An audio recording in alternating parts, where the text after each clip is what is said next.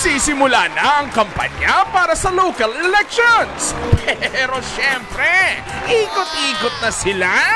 Si QC Mayoral Candidate Mike Defensor nga, ipinapakilala na sa mga campaign rally. Ang mayor natin ngayon, magaling, masibag, subok, Ano nga po yung isa? Ay! Grabe naman po kayo! Baka naman subok pala!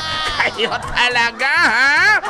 Linawin na lang po ang bigkas sa susunod. Ano po?